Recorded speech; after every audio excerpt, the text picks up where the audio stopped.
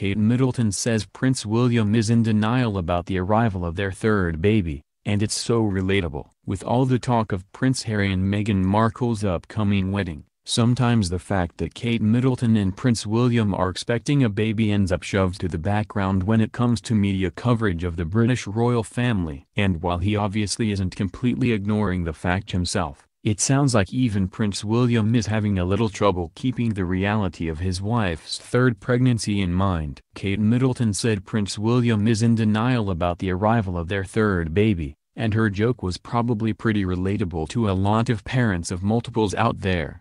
Middleton visited St. Thomas Hospital in London on Tuesday, where she met with patients and their families, according to OK magazine. The Duchess of Cambridge was there to help launch the Nursing Now campaign which focuses on raising the status and profile of nurses, according to the Daily Mirror, and when Middleton met the family of one young patient at the hospital, the topic turned to the impending birth of her third child. Kate reportedly joked with Jamie Parsons, the father of a 10-month-old being cared for at the hospital, about her husband, Prince William, and how he's dealing with being a dad for a third time. Parsons told People, I was saying, Congratulations. Best of luck with the third one, she said. Williams in denial. Though the exchange was clearly made in jest, there's some honesty behind that statement that a lot of parents of multiple children can probably relate to. Even if Prince William and Middleton are royals who undoubtedly have every resource and professional on hand to help them with their children,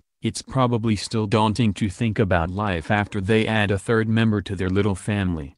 Some regular, Non-royal parents argue that having one child seems less stressful, and that having one child means they don't have to worry about things like conflicting schedules or a kid accusing them of playing favorites, according to Upstate Parent. Obviously the choice to have one kid, multiples, or no kids at all is up to each individual and their partner and factors like stress or schedules impact people's choices when it comes to kids in various ways. But one thing that is definitely true for every family that already has one kid is that things just change if you add another one to the brood. Not necessarily in a good or bad way, a new baby just makes things different. And that's sure to be the case with Prince William, Middleton, and their two children even though they'll have plenty of help with the adjustment to becoming a family of five. Prince William and Middleton currently share a son, Prince George, and their daughter, Princess Charlotte, according to Glamour. They haven't yet revealed to the public whether they are welcoming a second boy or girl this time around, but it wouldn't be a surprise if William is feeling the stress of becoming a father again either way and is in denial as a result. He's clearly not actually denying the fact that a third baby is coming, but joking about not believing it certainly seems like kind of a dad joke thing to do.